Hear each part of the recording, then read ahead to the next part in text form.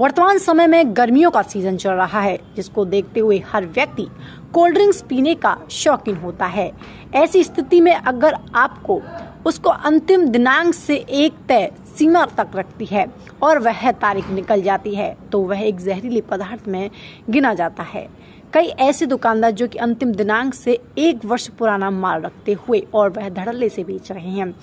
ऐसी ही यह घटना कल सामने आई है। पिछौर के वाचरोन चौराहे पर अग्रवाल किराना स्टोर संचालक दीपक अग्रवाल के यहाँ से कोल्ड ड्रिंक्स मिरंडा ग्राहक द्वारा ली गई, जो कि एक्सपायर्ड डेट की थी। दुकानदार ने चंद पैसों के लालच में ग्राहक को एक तरह से जहरीला पदार्थ दे दिया। ग्राहक की ना समझी कह लो, या बोतल पर एक्सपायरी डेट जो लिखी थी, उसको पड़ा और तत्काल दुकानदार के पास गया। परंतु दुकानदार द्वारा उसको डांट कर भगा दिया गया।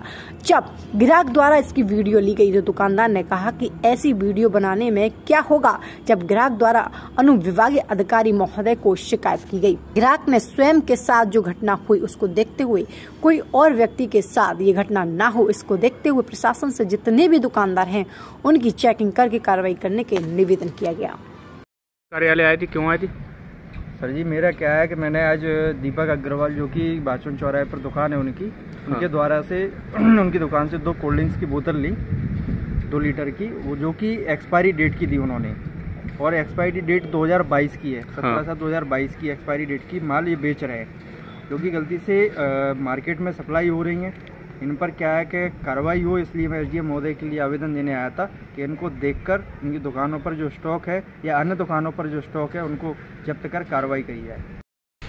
क्या नाम है भाई जो आपका? दीपक अग्रवाल। दीपक अग्रवाल जी। आपके यहाँ से मेरा एक आदमी कोल्ड ड्रिंक्स लेके गया अभी हाल मिरिंडा।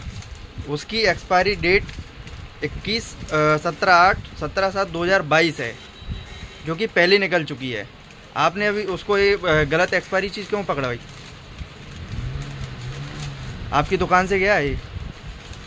सर जी बचपन में क्या हो रहा है? काय और फालतू की रिकॉर्डिंग कर रहा है ये कर रहा है वो कर रहा है। है? हाँ।